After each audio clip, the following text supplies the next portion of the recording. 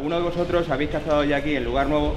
Eh, esta finca es una finca muy grande, como sabéis, es de la administración y es una finca muy emblemática. Por el sitio donde estamos cazando, por el paraje que tiene y por todo. La finca tiene 9.500 hectáreas y vamos a cazar una mancha que hemos abarcado bastante terreno, que vamos a cazar más de 1.000 hectáreas. Todos los puestos eh, están muy bien colocados, están muy bien situados. Por lo tanto, como todos lo sabéis, nadie se puede mover del puesto. Donde esté la tablilla, la hemos estado mirando y demás. ¿Se puede estar mejor en algún sitio o en otro? Podrá ser que esté mejor, pero nosotros lo hemos puesto donde creemos que no tiene problemas con nadie para los tiros ni para nada. Como sabéis, los que vais dos al puesto y lleváis dos rifles, es uno guardado, caza uno y luego tira otro. No se puede simultanear al mismo animal ni tirar dos, veces, dos personas a la vez. Ni os podéis abrir de los puestos. Donde esté la tablilla tenéis que estar colocados y ubicados. Todos los puestos lleváis un secretario. Mi recomendación en esta montería, esto es una finca grande, que tiene una calidad media y tiene algunos bichos buenos y tiene bichos malos tiene de todo. Mi recomendación, las dos primeras reses que pasaban por el puesto, yo las mataría. Eh, luego pues, podéis tener un puesto que os entre muchos animales, pero podéis tener un puesto muy justo y que no os entre mucha caza. Por lo tanto, intentar ir aprovechando el puesto para que no haya, para que no haya muchos problemas. Yo mi recomendación, sean como sean, yo las dos primeras reses las mataría. Si hay algún puesto que le pasen animales y no quieres tirarlo, eso ya es el problema del cazador. Otra cosa es que no le tenga mala suerte y no le pase absolutamente nada. Pero si pasan reses por el puesto, cada uno puede hacer lo que quiera en su puesto. Y no las tiráis, de la calidad que sea, eso ya es problema de cada uno. Eh, hay, hay, dos, hay tres puestos que tienen que andar bastante. Eh, ahora pido tres voluntarios, lo cogéis y ya está. Son puestos que tienen que subir bastante, uno tiene que bajar mucho y luego tiene que subir. Como hay personas mayores y personas que pueden andar menos, los voy a sacar de, los, voy a, los voy a sortear, que estéis preparados físicamente y, bueno, y el resto pues lo sorteamos y demás. Os recomendaría, os recomendaría que, que cuando vayáis en los puestos no hagáis mucho ruido, estamos cazando prácticamente en abierto, o sea, no nos apoyamos sobre ninguna valla, ningún perímetro de la finca. Todos los puestos, la mayoría de los puestos, el 75% de los puestos que hay son de cierre, o sea, las reses que van a pasar, la que se vaya ya no vuelve, así que aprovechar porque tendréis puestos que lo vuelvo a repetir, que os pasará mucha caza y otros que os va a pasar bastante menos. Intentar las dos primeras reses matarles. Y los guarros son libres, hay cupos de tres machos, tenéis venado y gamos sobre todo, y ahí puede haber algún muflón. Eh, se puede tirar las gamas y las muflones, pero hay bastantes puestos que no, que no voy a dejar que las tiren por el tema de la recogida porque están puestos bastante difíciles de sacar y, lo que se trata es que, bueno, también, que también estéis en el puesto, no hagáis demasiado ruido a la hora de tirar y matéis, intentéis matar los machos. Y nada más, si alguno tiene alguna duda, ¿ninguna?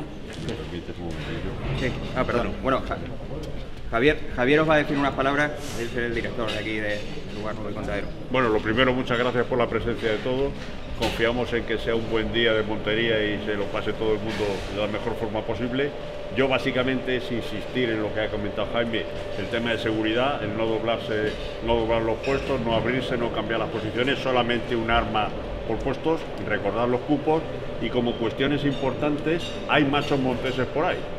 Que a nadie se le ocurra tirar un macho montés porque además sería objeto de peticiones patrimoniales y está valorado por la normativa en 5.000 euros un macho montés y también hay presencia del lince ibérico en la, en la, mancha que pueden cruzar perfectamente, pues también tengamos mucho cuidado con eso.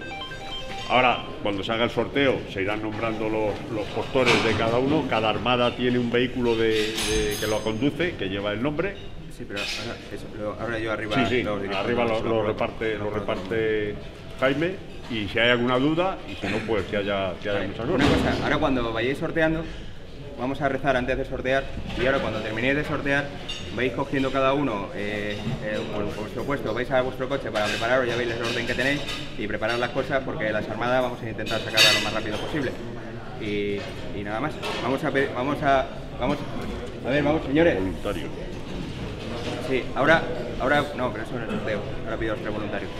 Señores, vamos a rezar, vamos a pedir que tengamos un gran día, que todo salga bien. Vamos a pedir por los que ya no están con nosotros y que tengamos salud. En nombre del Padre, del Hijo y del Espíritu Padre nuestro que estás en los cielos, santificado sea tu nombre, venga nuestro reino.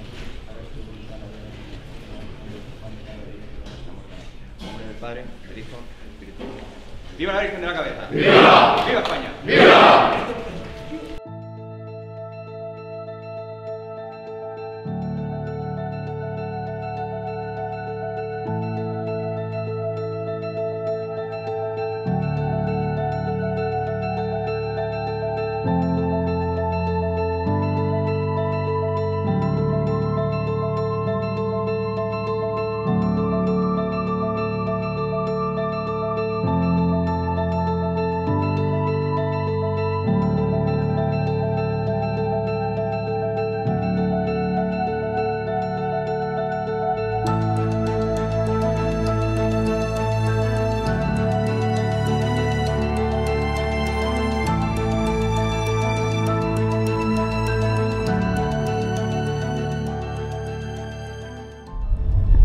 Buenos días. Soy Carlos Gómez. Hoy vamos a cazar aquí en Lugar Nuevo, una finca emblemática a los pies de la Virgen de la Cabeza. Vamos a ver si tenemos suerte. Pues nada, vamos a cazar aquí en el puesto de Valdepeñoso número 7, que es una traviesa. Y bueno, pues a ver después cómo, cómo resulta el puesto. A ver si tenemos lance, tenemos redes y podemos batir alguna. Y si es de gran porte, pues mucho mejor.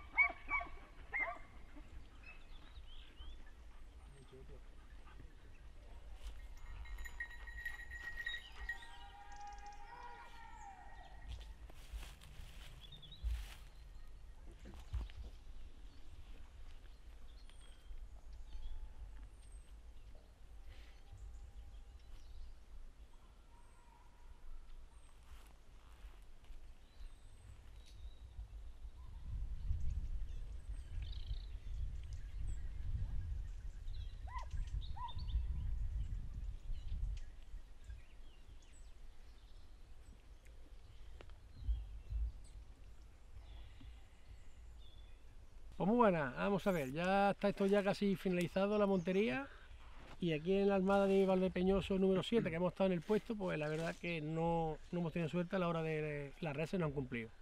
lo único que he visto ha sido unas ciervas, ¿vale? Y algunas gamas, sobre todo gamas, pero realmente mm, reses de tiro y de muflones y de gamo y de venado, nada, ni coche tampoco. En fin, hemos hecho un día muy bueno con los amigos, ¿sabes? Pues no, no nos falta de comer, que hemos tenido bastante comida y aquí en N pues dirá que el que ha estado en el puesto, pues el rifle que lleva, el calibre, para decir un poquito qué es lo que ha tenido hoy para cazar aquí. Yo, pues mira, tiro porque hoy no he tirado con un SHR 900 y la bala es la Ornadi punta de plástico roja. hemos visto un baretillo de gamo, dos, tres gamas y poca cosa más. Venga, pues nada, que como hemos dicho que no hemos tenido suerte esta vez. Esperemos que la próxima vez tenga un poquito más de suerte y un saludo a todos, ¿vale? Amigos, compañeros y conocidos. Venga, un saludo. Especial cámara.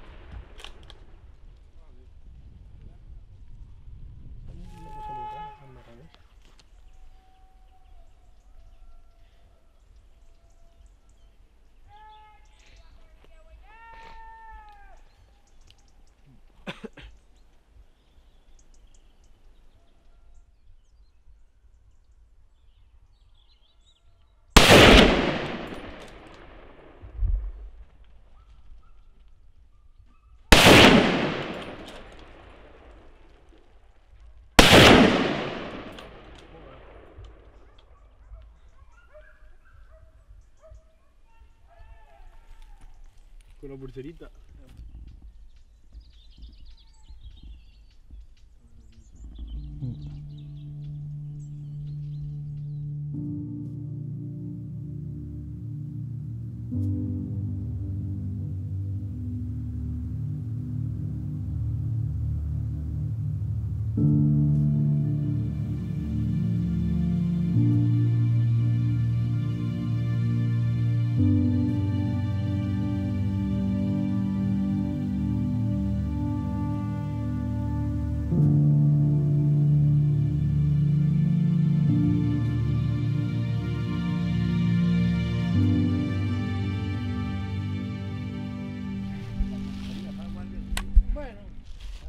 Hacia, hacia los puestos no. Y aquí es cuando esto queda junto a Andalucía.